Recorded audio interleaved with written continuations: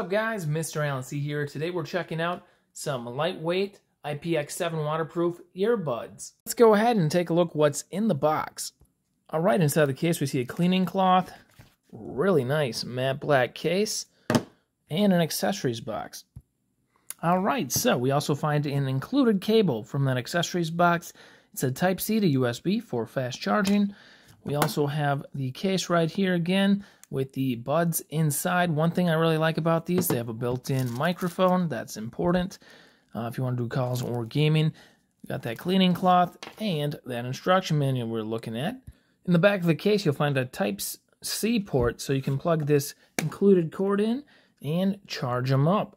The headphones can run for 12 hours, but when used with the charging case, you can run them for 70 hours just off of charges from the case itself. Take a look at the magnetism to these premium headphones in the case. They just want to slip in place. How cool is that? I'm loving that they're IP7 waterproof. But do they sound any good? And what are the button functions? Let's find out. So this is the uh, right earphone.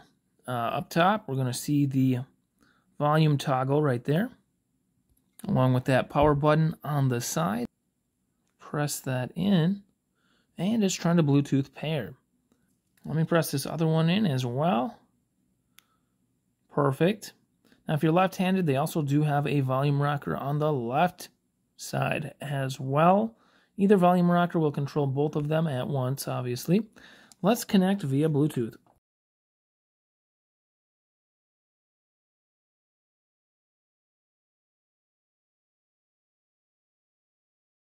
They include various headphone tips. They come with some pre-installed, the general size, but they have smaller and bigger tips included, free. It doesn't say it on the package, but I can definitely tell these are noise canceling. And I like the way this cradles around my ear and just holds it in place.